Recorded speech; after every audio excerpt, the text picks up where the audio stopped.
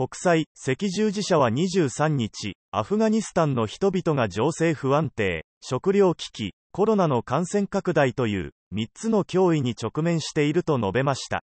国連世界食糧計画は、19日までに緊急援助資金がなければ、同国は早ければ9月に食糧不足に直面するだろうと警告しました。IRC のグレゴリー・マシューズ氏は、アフガニスタンの政情不安、55万人の避難民、そして大干ばつ後の7月に、政府が危機宣言を出したことで、食料不足が高まっていると指摘しました。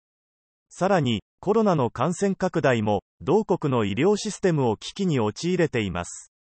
世界保健機関は23日、カブール空港が商業便の運航を停止しているため、重要な物資の輸送ができなくなっていると明かしました。WFP のアフガンの事務担当のアンドリュー・パターソン副局長は、アフガン人口のほぼ半分である約1850万人が援助に依存しており、今年の干ばつやコロナ禍による社会経済的影響で、作物の約4割が失われたため、多くの家庭が必要な食料を入手できない状況にあると述べました。WFP によると、アフガンの3人に1人が飢えに苦しみ、子供は200万人が栄養不良の状態にあります。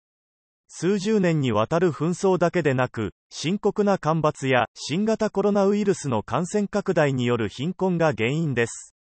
タリバンの侵攻によって、多くの人々が避難を余儀なくされ、食料不足に一段と拍車がかかる可能性があります。WFP では、2000万人もの人々が食料を必要とし、9月までに現在の備蓄が不足する可能性があるとしています。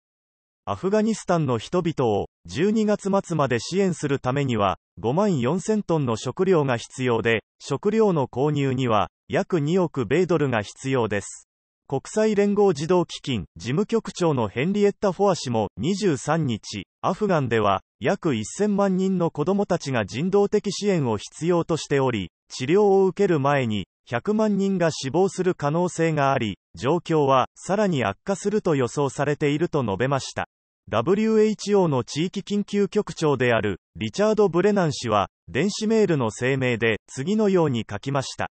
世界の目は今、避難者と飛行機に向けられており、残された人々を助けるための物資を送り込まなければならない。